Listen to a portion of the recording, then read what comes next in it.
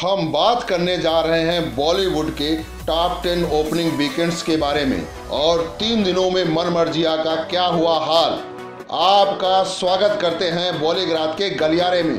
अनुराग कश्यप द्वारा निर्देशित फ़िल्म मन मर्जिया ने ओपनिंग वीकेंड में 14 करोड़ 33 लाख रुपए का कलेक्शन किया है।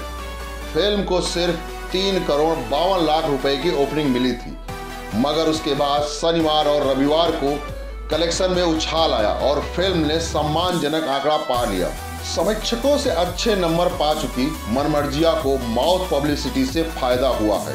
हालाँकि अभिषेक बच्चन, तपसी पन्नू और विक्की कौशल अभिनीत फ़िल्म 2018 के टॉप 10 ओपनिंग वीकेंड्स में आने से चूक गई है। इससे पहले आई स्त्री ने ओपनिंग वीकेंड में 32 करोड़ 7 लाख रुपए जमा किए थे, मगर कुछ लाख से वो भी चूक गई थी।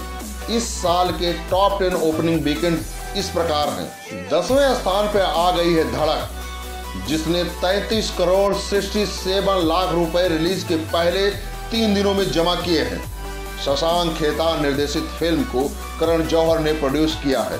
नवे स्थान पर आ गई है बीरे दी बेटी, जिसने ओपनिंग वीकेंड में 36 करोड़ बावन लाख रुपए जमा किए। एक जून को रिलीज़ हुई फ़िल्म को शशांक घोष ने डायरेक्ट किया है। चार दोस्तों की इस कहानी में करीना कपूर, सोनम कपूर स्वरा भास्कर, शिखा और सुमित व्यास ने मुख्य भूमिकाएँ निभाई है। ओपनिंग वीकेंड कलेक्शन की लिस्ट में आठवें नंबर पर पैडमैन है, जिसने 40 करोड़ 5 लाख रुपए का कलेक्शन किया था। इस बायोपिक फ़िल्म में अक्षय कुमार ने अरुणाचलम मुरुगनाथम का किरदार निभाया, जबकि राधिका आप्टे उनकी पत्नी के किरदार में थी। सोनम कपूर ने भी फ़िल्म में एक अहम किरदार प्ले किया था। अक्षय और निर्देशक आर बाल्की का ये पहला एसोसिएशन था। पैडमैन हिट रही। सातवें स्थान पर खिसक गई है राजकुमार गुप्ता निर्देशित रेड, जिसने ओपनिंग वीकेंड में इकतालीस करोड़ एक लाख रुपए जमा किए। इस फ़िल्म में अजय देवगन ने इनकम टैक्स अधिकारी का रोल निभाया। इलियाना डिक्रूस ने उनकी पत्नी का किरदार प्ले किया। 100 करोड़ से अधिक कमाकर ये फ़िल्म भी हिट रही।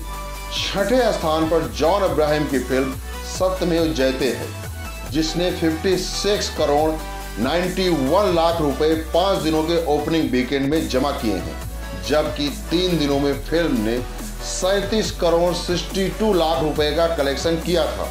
पाँचवें स्थान पर अक्षय कुमार की गोल्ड आ गई है। इस फ़िल्म ने रिलीज़ के पाँच दिनों में इकहत्तर करोड़ तीस लाख रुपए का कलेक्शन किया है, जबकि तीन दिन में फ़िल्म का कलेक्शन 43 करोड़ 75 लाख था।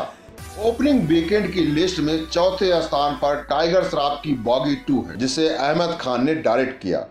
इस एक्शन रोमांटिक फ़िल्म में दिशा पटानी पहली बार टाइगर श्रॉफ के साथ आई। एक्शन को लेकर टाइगर की इमेज के चलते फ़िल्म ने 73 करोड़ 10 लाख रुपए का शानदार ओपनिंग वीकेंड किया। तीसरे स्थान पर है रेस थ्री, जिसने ओपनिंग वीकेंड में 106 करोड़ सैतालीस लाख रुपए जमा किया है। रेमो डिसूजा निर्देशित फ़िल्म में सलमान के अलावा बॉबी देवल जैकलिन फर्नांडिस अनिल कपूर, साकिब सलीम और डेजी शाह ने मुख्य किरदार निभाए हैं। लिस्ट में पद्मावत दूसरे स्थान पर है। संजय लीला भंसाली की इस मैग्नम ओपस ने 114 करोड़ का कलेक्शन किया, जिसमें 19 करोड़ पेड प्रिव्यूज का भी शामिल है। पद्मावत काफ़ी समय तक विवादों में रही थी, जिसकी वजह से इसे 2017 से हटाकर 2018 में रिलीज़ किया गया।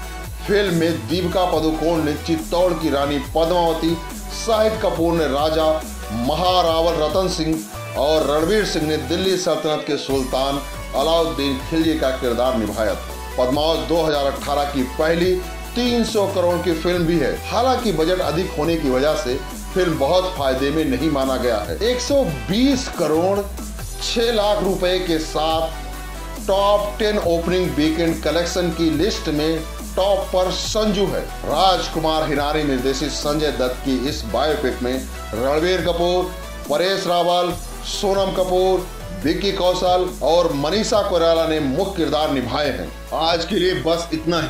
आप हमें कमेंट करके बताइए, क्या top ten opening weekend collection में 2.0 टॉप पर आएगी या नहीं?